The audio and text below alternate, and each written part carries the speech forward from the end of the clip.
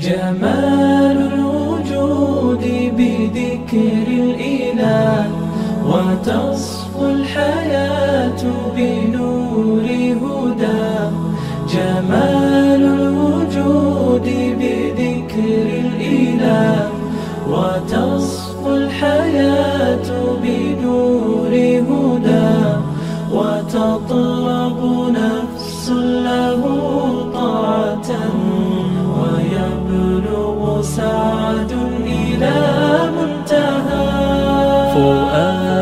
شغوف إلى ربه أحب رضاه أحب لقاه. يظل يجيء إلى ربوة قرار ويسمو وذا مرتضى. فلا لهو يثنيه عن سيره ولا جمع مال تغى الشهوى إذا